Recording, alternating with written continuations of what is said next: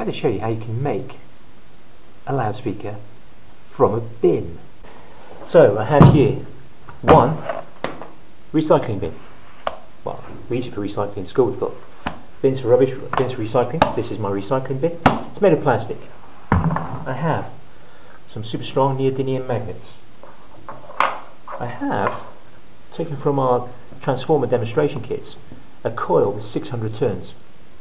Now you're probably not likely to have one of these at home, but you could make a coil, if you can find transformer wire, you can make a coil from those. You just need to remember to sand off the varnish at the ends in order to make a connection.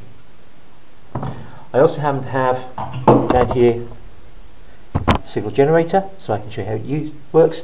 That also has a built-in amplifier, so I can stick some audio input, uh, and I've got various leads. I also have tape. First step, take the neodymium magnets and stick them onto the er bin.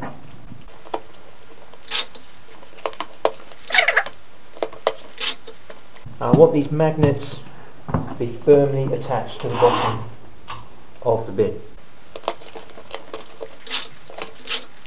Doesn't matter what sort of tape you use.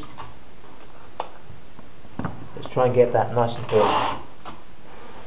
The coil of wire goes over the top. You can do this on a smaller scale with small magnets and a paper cup, or even a couple of paper cups. A permanent magnet stuck to the bottom of one paper cup, put another paper cup over the top of that with a coil of wire attached through to a supply.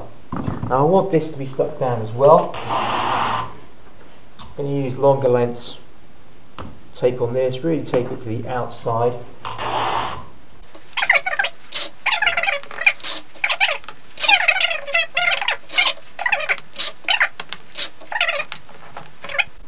Let's go for a test. First of all, I'm going to take just this output from the signal generator. And hopefully, when I turn this on, we're going to hear a note.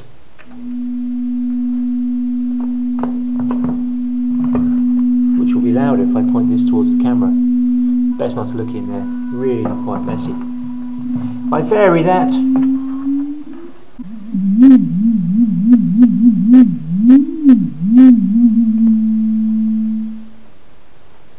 can also do is change the input and actually attach my iPod. So at the moment on my iPod I'm listening to Makers International podcast. I'm only on episode 5. I've got a bit of catching up to do. So if I switch this on now, press play,